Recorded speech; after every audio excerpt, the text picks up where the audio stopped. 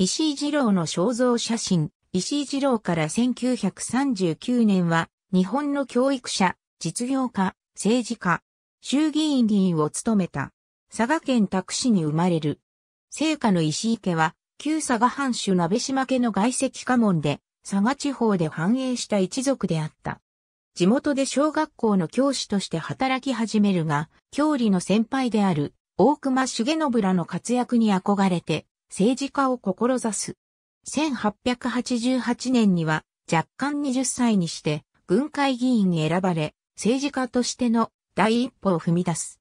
10年後には佐賀県会議員に当選し、その期間第17代県会議長も務めた。また、小木軍税制士、宅金融、宅土地の各社の取締役社長なども務めた。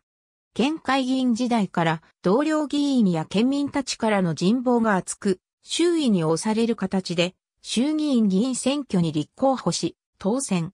1928年から6年間余り、衆議院議員として活躍した。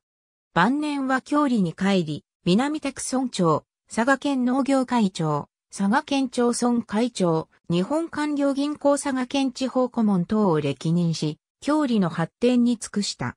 性格は物静かな一方で、意志が固く、常に筋の通った物言いであった。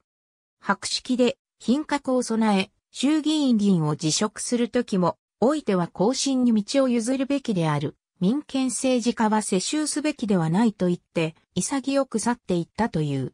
ありがとうございます。